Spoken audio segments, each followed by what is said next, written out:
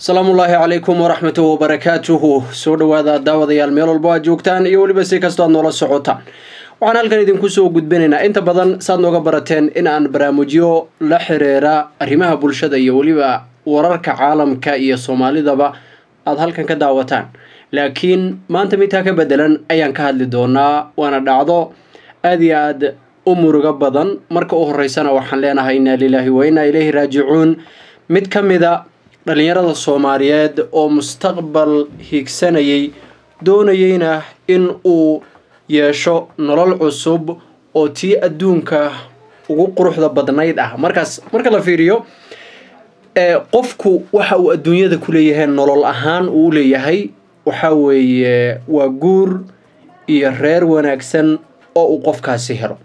Laakiin waxaa dhacday arrin yaabkeeda leh. Marka la fiiriyo arrintan aan ka hadlayno oo ah caruuskii saacadda gudaheed caruuska iyo marxuumkaba wada noqday.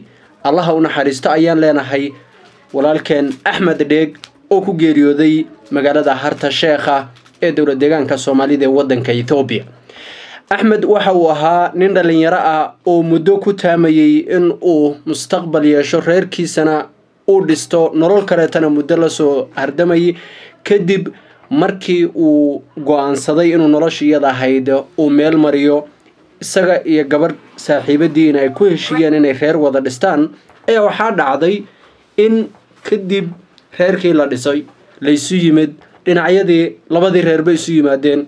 Gabadhiina wiilkii loo guuriyey oo uu meherkiisu dhacay. Kadibna markii laga soo dareeray baa waxaa dhacday in gaari uu shil la galo walaalkan axmed dheeg halkaasna uu ku geeriyoodo marka ugu horeysa eheladii iyo qaraabadii iyo dadku walaalkeen ka geeriyooday waxaan leenahay samir yiman allah ka siiyo si gaar ah gabadhii walaasheen ahayd ee axmed u ahayd ama marwada u ahayd wixii ka horreeyey intii uu noolaa ama muddadaa kooban ee saacadaha xitaa. Waqti badanba mayna marwo u ahayn laakiin waa gabar uu maanta isagu ka geeriyooday ayay noqonaysaa oo sida ay soomaalidu u taqaano asay qaadaysa. Maxaa yeelay dee waktiga loo guuriyey iyo waktiga walaalkeen dhintay waxay ahaayeen laba waqti oo aada isugu dhow. Walaashan waxaan leenahay qalbiga allah u qaboojiyo. Waad dareemi kartaa qofka labadaasi arrimood ay ku wada dhacaan. Waa laba geeriyood oo haddii markii horeeto intaynan reer noqonin oo geeriyoon laha waxaa laga yaabaa in uun qalbiyan iyadoo keligeeda ay ogaan lahayd ayna arrintaas iyada ah ka xumaan lahayd. Laakiin hadda waxay tahay iyadii way ka xun tahay guur baa meesha yimid. Arrintii ay muddada ku soo taamaysa bay heshay. Haddana waxaa dhacday in aysan iyada iyo walaalkeen axmed iscalfanin waxaan leenahay walaasheen samir iyo imaan allaha siiyo ee qalbigana allaha u qaboojiyo. Walaalayaal arrintani waxay marka muujinaysaa. Markii aan fiirino bulshada soomaaliyeed ee xilligan maanta la joogo way nagu badan yihiin aroosyada dhalinyarada iyo waxyaabaha la midka ah oo siyaabo kala duwan u dhaca. Laakiin mar walba waxa loo baahan yahay inaad ogaataa waxay tahay malakulmoodku meeluu kuu soo jira ma ogid. Inuu kuu soo jira ma ogid. Ma tallaabuu kuu soo jiraa ma ilbiriqsi buu kuu soo jiraa ma saacad buu kuu soo jiraa ma laba saacadood buu kuusoo ma maalin buu kuusoo jiraa ma bil buu kuusoo jiraa ma sanad buu kuusoo jiraa waxaynu ognahay ma ah.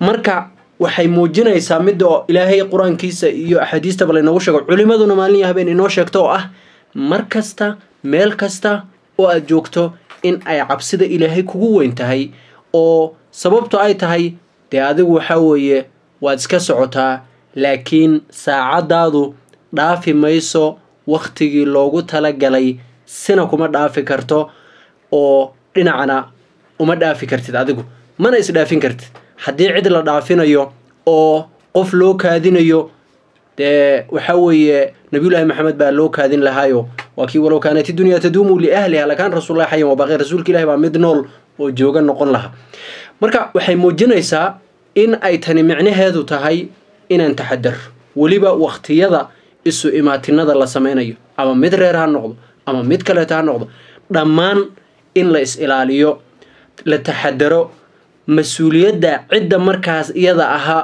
baabuurta dadka ku wadaysa ama meesha la marayo ama habka loo soconayo ama dhaqaaqa waxyaasoo dhan in aad miisaanto ood ilaaliso. Sababtu waxay tahay waa adiga oo uu adduunku kuu ifayey oo laga yaabo inaad higsi fiican haysatay ayaa lagaa wadayaa. Haddana waxaa weeye waxaan toddobaadyo ka hore oo kaleeto iyadana la hadalhaya dhacdo dhalinyaro saasoo kaleeto meel dalxiis u socoto way shil intay galeen gabari ku dhimat. Way badan yihiin dhacdooyinka noocan oo kaleeto ah waa kii madaxweynaha dowlad deegaanka puntland ama dowlad goboleedka puntland saciid abdullahi deni uu lahaa dhalinyarada waa in si gooni ah loo fiiriyaa oo looga taxadaraa waxaan ogeyn kenya oo kaleeto dhowaan ayay iyadana ka dhacday shilal noocaas oo maawmaaw ka dhacday ooy dhalinyaro soomaaliyeed ku dhinteen iyadana dalxiis iyo wax la mid ay u socdeen. Tan walaalkeen dalxiis muunan u soconin laakiin nin intuu reer u soo dhismay doonayay inuu guri galo ayuu ahaa. Laakiin oo ku jira mid ka mid ah maalmaha ugu farxadda badan ama waqtiyada ugu farxadda badan gelina raba toddobaadka ama bisha malabka. Laakiin ilaahay baan qadarin dhaafiyey tii allaana u timid waxay marka ina tusinaysaa saan u dhannahay inaan taxadarkeeda muujino marka aada fiiriso laxdada walaalkeen ahaa caruuska iyo tan kaleeto ee uu ahaa marxuumka aada soo fiiriso waxay muujinaysaa in la inooga baahan yahay meel walba oo aan joogno iyo markastoo aan joogno is-ilaalinteennu inay badato si gaara caruusyada ha la ilaaliyo waqtiyadan oo kaleeto oo waxaa weeye gabdhaha qalbigooda ha la ilaaliyo oo waxaa weeye meesha aad maraysa iyo qaabka aad u soconaysa iyo wixigaago dhan ee ilaali. Dhammaan marka aada fiiriso xaaladahan oo kaleetona waxayna tusinayaan in meel kastoon joogno aynu nahay bini aadam daciifa oo aan awood lahayn waqti walbana waxaa weeye ay u iman karta tii rabbi waxyaabahaas o dhan markaa isku soo aruuriso waxay noqonayaan mid muujinaysa in aan taxadaro is ilaalino digtoonaano laakiin waxa loo baahan yahay baa waxay tahay dhallinyaroy waqti walba si gooni ah inaad isu ilaalisaan. Gacantiina aydaan waxba dhib ah ku geysanin. Sidoo kaleetana idinka oo waxyaabo aada idinku sababtaan ama sabab idiin ah aydaan dadka kaleeto ee walaalihiina aydan sabab uga dhigan ama dhib ku soo gaarsiinin oyna wax ku noqonin. Marka walaalayaal arrinta walaalkeen waa mid maanta laga wada murugaysan yahay laga xun yahay aada looga hadalhayo baraha bulshada dhammaan.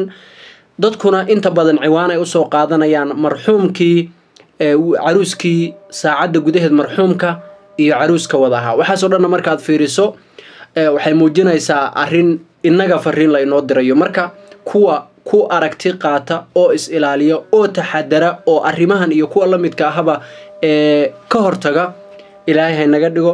Walaalkeen aynu u ducayno keli aha yayna noqonin in laga hadlo arrintan oo waxaa weeye ayna si caadi ahaan looga hadlo.